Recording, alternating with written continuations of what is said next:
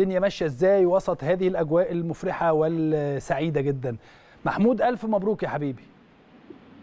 ألف مبروك كابتن إسلام ومبروك لكل جمهور الأهلي العظيم وتحياتي لضيوفك الكرام الكابتن ماهر همام النجم ال- الكبير للأهلي والدكتور أحمد ثابت المحلل المحترم. وان الفرحة الفرحة بتعم. جينا من ملعب الأمير عبد الله الفيصل بفرحة كبيرة بالبرونزية واحتفلنا بالبرونزية هنا في ملعب الجوهرة. والفرحة مفيش أجمل منها يا كابتن إسلام وصلتوا الأوتيل ولا لسه امبارح لا لسه يعني. إحنا ماشي. في ميكس أنا سايبكم أهو براحتكم خالص عشان إيه لما الناس توصل الأوتيل أنا بص يعني أنا قتيل لا مش أنا لا أنا قتيل عشان خاطر جمهور. أنا قتيل عشان خاطر جمهور الأهلي سهرانين- معاك إن شاء الله ونغطي ماشي. كل حاجة يلا بينا. البعثة لكن امبارح إحنا أكدنا كابتن إسلام إنه الحصول على البرونزية أمر في غايه الأهمية والنهارده اظن اظن الناس كلها تاكدت ان البرونزيه مهمه.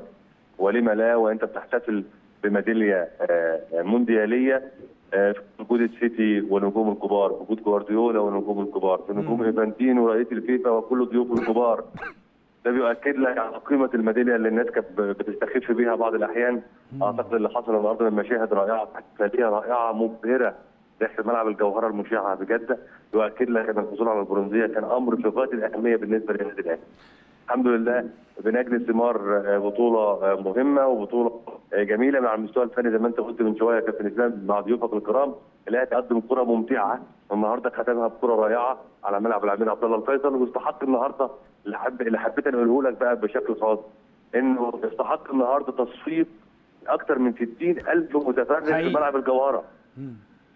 يعني صح. ال- لعيبه الاهلي الميداليات الفرديه صاحبوا تصفيق حار جدا وحفاوه كبيرة جدا من الإخوة السعوديين اللي ملأوا جرابات الاستاد ناس كتير جدا جدا كانت اشادت النهارده بالأداء ال- الجميل اللي قدمه الأهلي والفوز جدا على بطل اليابان بطل آسيا بطل آسيا آه. اللي نجح إنه إنه يتخطى يتخطى ويفوز باللقب على حساب الهلال السعودي بنجوم الكبار اللي اللي جمعهم من كل أنحاء العالم بأرقام خيالية. نجح الفريق الياباني ده اللي إحنا كسبناه النهارده ده إنه يكسب بطولة آسيا على حساب الهلال السعودي.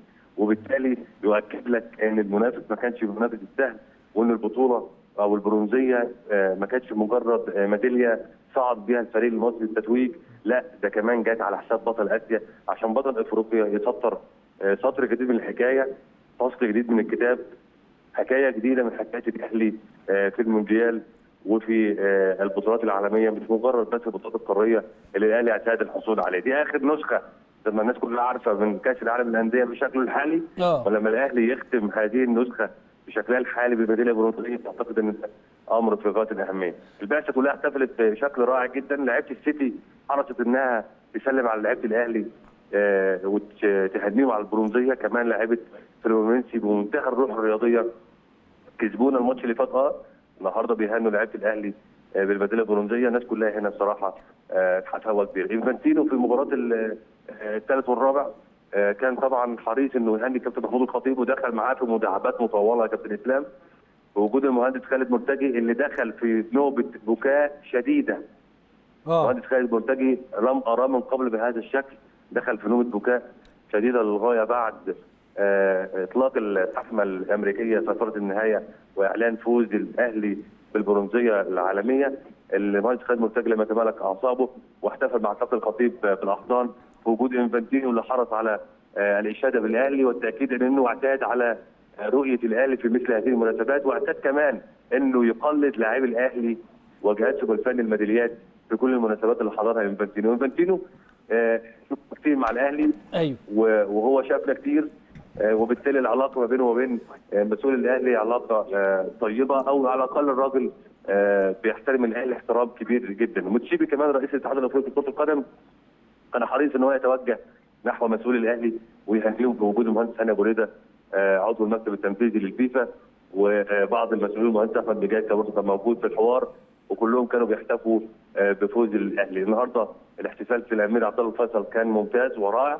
كابتن محسن صالح آه، انفعالاته كانت حديث الكل آه، في في آه، ماسوره كبار الزوار انفعالات يعني لم تحدث من قبل الكابتن محسن صالح كابتن زكريا ناصر وكل كل النجوم السابقين اللي كانوا موجودين اللعيبة كلها كمان احتفلت على طريقتهم الخاصة زي حسين الشحات اللي احتفل مع أسرته أمام المدرج حمد الشناوي كمان اللي يعني تسلق ال- المدرج عشان يحتفل مع بعض من أقاربه ومعارفه الفرحة كبيرة. اللعيبة كلها أكدت على إن آه، الحصول على البرونزيه جاء نتيجة إصرار وفقط على مصالحة الجمهور. النهارده الفكرة كلها ما كانتش أداء فني بقدر ما هي الرغبة والطموح والإصرار على مصالحة الجمهور الحزين آه على آه آه ضياع حلم أكبر اللي هو الصعود للنهائي. لكن تعويض حدث النهارده بميدالية برونزية نستحقها عن جدارة. سؤال كده في النص معلش ومش هرجع له كتير لكن هل من الممكن أن يكون هناك تأجيل لأولى المباريات في السوبر أو في سوبر الابطال يوم الاثنين ولا إحنا بنتكلم وخلاص؟ شوف الأخبار اللي عندك من مصادرك يعني. قبل قبل ما نتحرك ناحيه ناحية ملعب أمير عبد الله الفيصل جمعني آه يعني نقاش مع أحد المسؤولين. أيوه. آه يعني أكد لي لسه ما حصلش رد.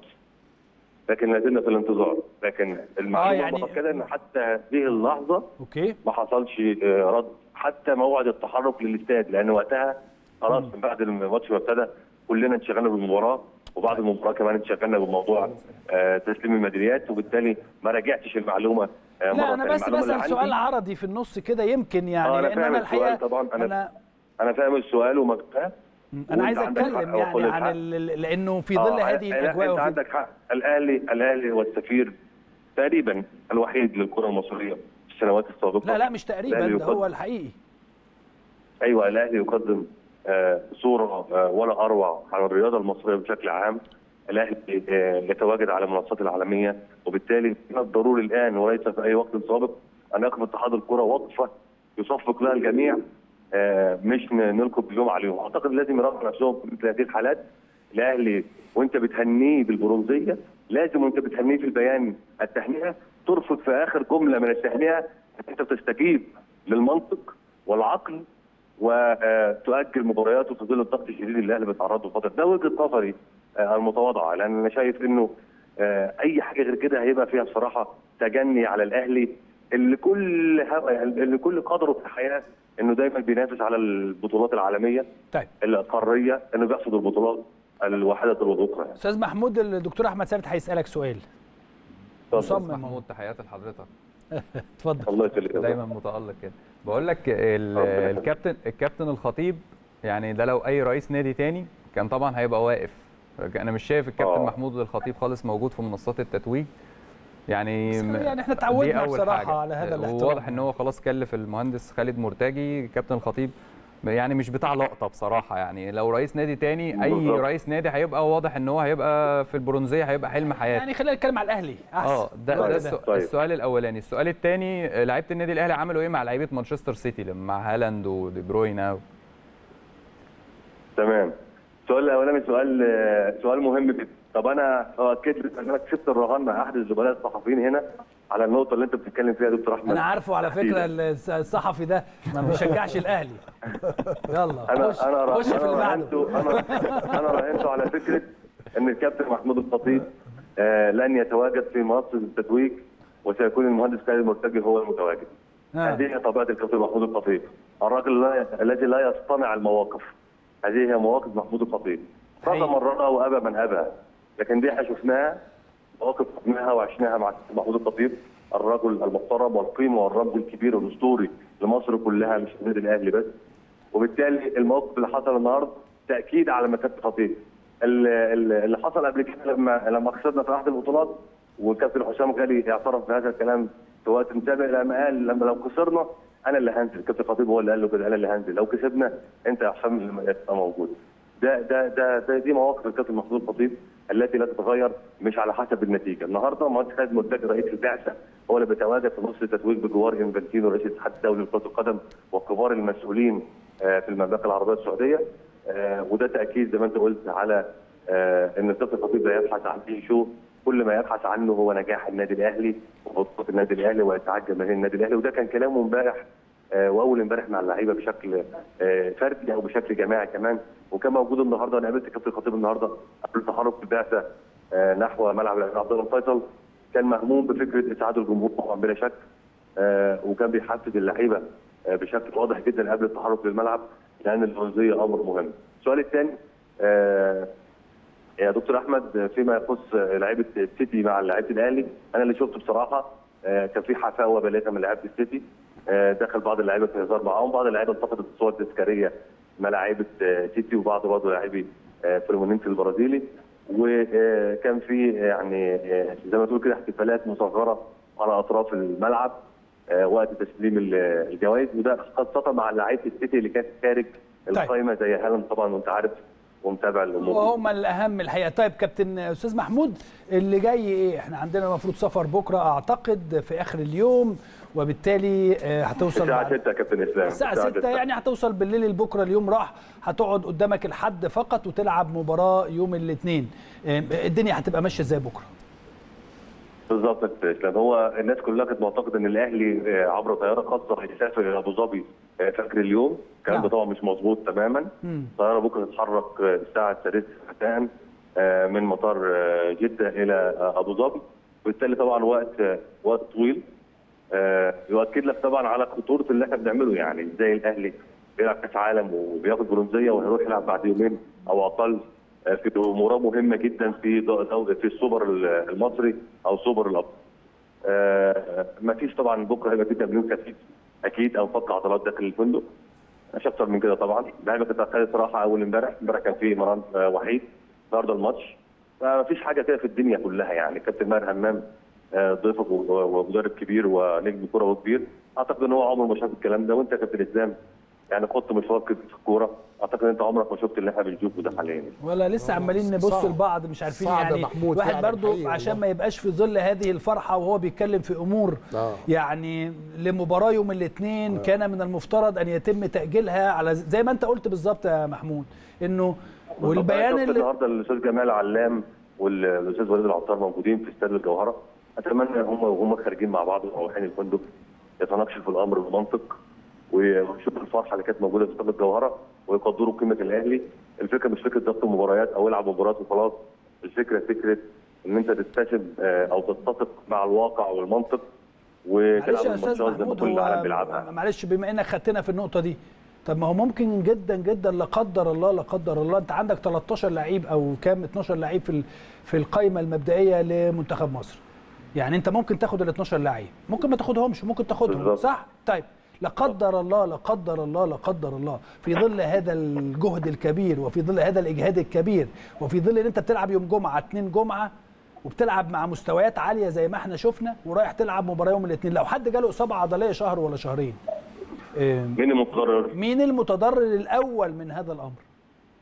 منتخب مصر وفقط حلو جدا. هترجع تقول لي طب الناس لازم تعي اللي بتعمله. أتمنى إن ده يحصل. ثانيا هترجع تقول لي يعني هو ال 24 ساعة هتفرق يا عم إسلام أه، يعني مش أنا اللي هجاوب بقى على الكلام ده أعتقد كابتن ماهر ممكن يجاوب الساعة بتفرق مع اللعيب في الاستشفاء مش ال 24 ساعة صحيح. آه. الساعة بتفرق مع اللعيب في الاستشفاء وبالتالي هنا إحنا صحيح. بنطالب بأقل مقدار من ال- الاستشفاء ياخدوا لعيبة النادي الأهلي. على الأقل يفرحوا يوم يا أخي. يعني الحمد لله ربنا كرمنا النهارده. يفرحوا بكرة طول النهار. ياخدوا الاستشفاء بتاعهم اللعيبه. اللعيبه كابتن عارف إسلام عارف محمود عارف كابتن إسلام؟ يا محمود عارف اليوم اللي مستر. كولر إبدل فيه الفرقة راحة؟ اليوم الراحة ده؟ أيوه. شوف النهارده اللعيبه أيوة، عاملة إزاي. فرق. لعيبة النادي الأهلي النهارده عاملة إزاي في الملعب. يوم واحد يا بس كابتن استشفى النهارده النهارده إحنا كنا قاعدين على مقربه جامدة طيب. جدا من اللعيبه من الملعب. اللعيب في الجهد يا كابتن اسلام مش طبيعي مش طبيعي. آه، أكتر من الماتشين اللي فاتوا وأنا باكد لك هذا الكلام. النهارده كان في جهد جامد طيب. جدا لعيبة لعيبه اليابان لعيبة محمود. أنا بشكرك. آه، شكرا جزيلا يا. محمود بسرعة جدا لأنه أنا وبعدين ما أنت كده كده معانا لسه اليوم طويل. فكده كده أنت معانا النهارده. نشكرك. شكرا جزيلا. زميلنا محمود شوقي من السعودية. خلينا نروح أيضا زي ما قلت لحضراتكم آه، كان معانا من شوية دكتور أو الأستاذ طارق أنديل ودكتور محمد سراج. دلوقتي معايا دكتور محمد شوقي عضو مجلس إدارة النادي الأهلي. وبنبارك لك على الهواء مباشرة يا دكتور آه، على هذا الإنجاز الكبير والرائع وجهد كبير جدا جدا لكل لاعيبه النادي الأهلي وكل جهازه الفني. ومن قبلهم الحقيقة مجلس إدارة مساند وقوي برئاسة كابتن محمود الخطيب. ومن قبل كل دول جمهور يست- يستحق الحقيقة كل الإشادة. الله يبارك في حضرتك كابتن إسلام. ربنا يخليك. يعني سعداء جدا بوصول النادي الأهلي إلى منصات التتويج في ظل هذه الظروف الصعبة جدا وفي ظل هذا الإجهاد الكبير اللي بيحدث أمام النادي الأهلي يا دكتور محمد. ربنا يزيد بطولات يا رب للنادي الأهلي ويديم فضله علينا. الحمد لله. يعني كانت آه، آه، بعثة يعني منضبطة جدا وشغل دقيق جدا. والحمد لله ربنا كلم مجهوداتنا جميعا بالنجاح. الحمد لله. أنا عارف إن حضرتك تعبان من بعد الماتش النهارده والتشجيع الكبير ولكن طمنا على البعثة وقول لنا أجواء الفرحة عاملة إزاي وكل حاجة حلوة هناك إزاي. مع الفوز والبطولات مفيش آه، أي تعب للنادي الأهلي مفيش أي تعب الحمد لله بدل سعداء ربنا يعني يديم فضله الحمد لله. البعثة بخير وخلصنا المباراة آه، الأولى اللي فزنا فيها الحمد لله وحصلنا على المركز الثالث. وانتقلنا لل- لاستاد الجوهرة مباشرة عشان نحضر باقي اللي كان باقي من المباراة الثانية أو مباراة النهائي يعني المركزين الأول والثاني ونحضر التتويج. آه، كابتن محمود للأسف كان تعبان شوية فما قدرش يجي معانا رجع على الفندق على طول. آه، كان مشدود الأعصاب بشدة وجاله صداع و- وبعتنا دكاتره يشوفوا ضغطه وكده. لكن الحمد لله انتقلنا أنا والمهندس خالد مرتجي إلى آه، واللاعبين طبعا بعدين على طول في في اتوبيسهم والجهاز الفني. والحمد لله يعني حضرنا التتويج وربنا أكرمنا وربنا يديم آه، يعني الفرحة بإذن الله. بكرة إن شاء الله هيكون السفر إلى الإمارات يعني في ظل هذا الإجهاد الكبير جدا والضغط الكبير جدا. يا دكتور شوقي بتقول إيه في ظل هذه الأمور الصعبة؟ يعني كفاية إن أنا أقول لحضرتك إن بعد هذا المجهود النهارده وال- والضغط العصبي وال وال صوت حضرتك باين الحقيقة. آه. بكرة إن شاء الله في تمرين قبل السفر للامارات يعني المدير الفني قرر إن بكرة في تمرين وبعدين يطلعوا على الامارات لأن حضرتك عارف إحنا مش هيبقى عندنا غير تمرين. إحنا بكرة 23 هنلعب 25 يعني مفيش غير 24 يوم تمرين فلازم يتمرنوا بكرة تمرين. أكيد هيكون خفيف مش مش زي الأحمال الطبيعية. وبعدين يسافروا بالسلامة إن شاء الله. أنا راجع القاهرة لأني مرتبط بأعمال. الحمد لله خلصنا البعثه الرسمية وراجعنا إن شاء الله. وكابتن محمود والمهندس خالد مرتجي طالعين على الإمارات إن شاء الله مع الفريق إن شاء الله كل التوفيق يا دكتور شوقي. أنا ببارك لك وبقول لك ألف ألف مبروك على هذا الأداء الرائع من فريق يستحق الاحترام ومن مجلس إدارة متكاتف متجانس. واقفين مع بعض كلكم برئاسة كابتن محمود الخطيب. وأرجو إن حضرتك تطمنا على كابتن خطيب لو في أي حاجة يعني. الحمد لله هو أحسن دلوقتي. إحنا لسه مطمنين عليه لكن الحقيقة حضرتك عارف كابتن محمود كان ما بيخرجش أحاديث أثناء المباراه يفضل يضغط يضغط يضغط يعني صحيح. إحنا بن- بننط وبنخرج بنخرج مشاعر. هو دي وحشة قوي فيه للأسف بيضغط نفسه. ربنا يحفظه إن شاء الله بس هو الحمد لله أحسن والحمد لله يعني الضغط مش وحش. فربنا كريم إن شاء الله بكرة الصبح يكون في أفضل حال. ربنا يخليك يا دكتور وألف ألف مبروك وبنشكرك على هذا الأداء الرائع الحقيقة من مجلس إدارة يستحق كل الاحترام وكل المحبة وكل السعادة. شكرا جزيلا دكتور محمد شوقي عضو مجلس إدارة النادي الأهلي. شكرا جزيلا يا فندم وألف ألف مبروك.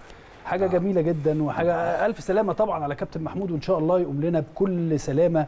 وزي ما حضراتكم سمعتوا مفيش حاجة يعني حاجة بسيطة. إن شاء الله إن شاء الله بكرة نطمن أكتر على كابتن خطيب.